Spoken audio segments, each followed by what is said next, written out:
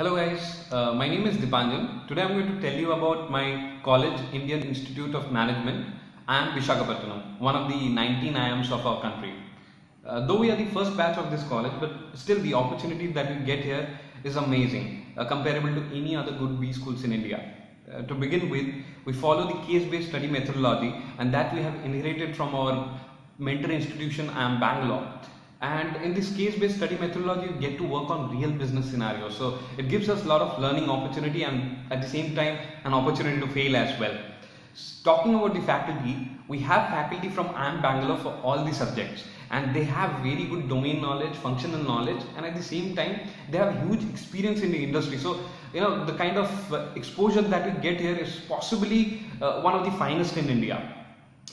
So as a result of this I believe we have been able to conduct a very successful summer internship where all of our students have got placed with top recruiters from the country.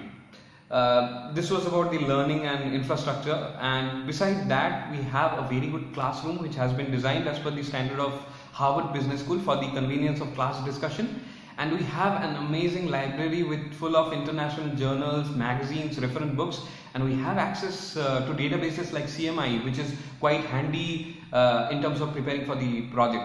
So, you know, we have infrastructure, learning facilities, everything.